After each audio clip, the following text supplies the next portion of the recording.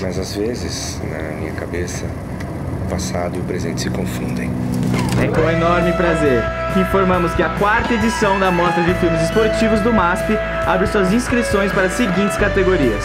Melhor programa esportivo, longa-metragem de ficção, curta-metragem de ficção, documentário e curta-metragem amador em Super 8. A gente era muito bobo para saber o que era amizade ou o que era amor. Mas todo mundo sentia que tinha algo acontecendo naquele sonho.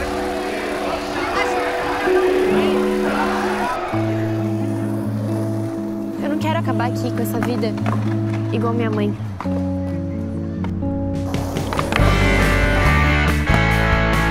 Talvez seja tudo um sonho mesmo, que escapou no shape do skate.